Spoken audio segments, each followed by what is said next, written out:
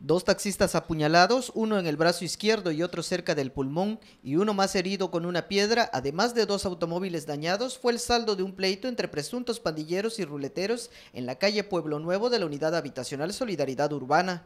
Trascendió que uno de los taxistas fue impactado por los tripulantes de un automóvil que se dieron a la fuga, por lo que lo siguió y discutió con ellos, llegando varios vándalos que arremetieron contra el taxista, quien pidió apoyo de sus compañeros al verse superado.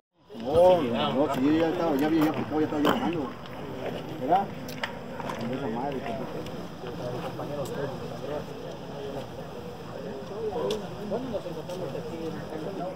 Posteriormente, los vándalos lapidaron la unidad de transporte, detonando una batalla campal.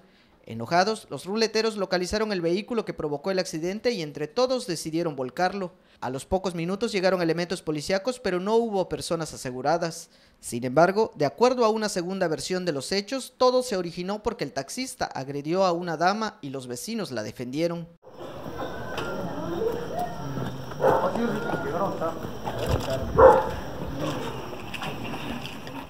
Con imágenes e información de Humberto Hernández, Telemar Noticias.